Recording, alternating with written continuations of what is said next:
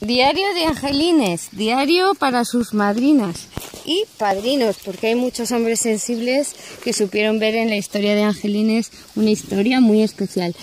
Quiero que veáis que estaba echando crema a Amadeo, a Amadeo y a eh.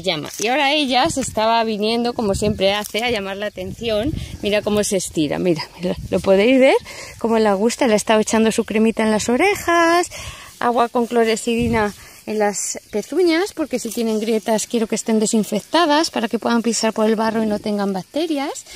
Y bueno, ahora es la hora casi casi de comer de humanos. Ellos ya han comido y empiezan la siesta antes que los humanos. Aquí los otros animales siempre van primero.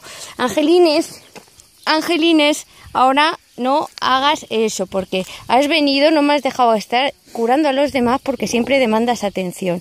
Así que no me van a creer tus madrinas cuando eres tan envidiosilla y cuando siempre que estamos con alguien te vienes y nos empujas suavemente con tu cuerpo grande, como si fuéramos un tronco, te rascas entre nosotros y viene lloriqueando y la tenemos que dar muchos mimos, muchos mimos para que se quede tranquilita.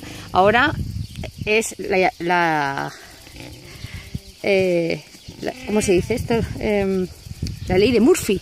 Ahora os lo estoy contando y grabando y se pira. Os prometo que el Angelines es la cerdita más demandante que hay.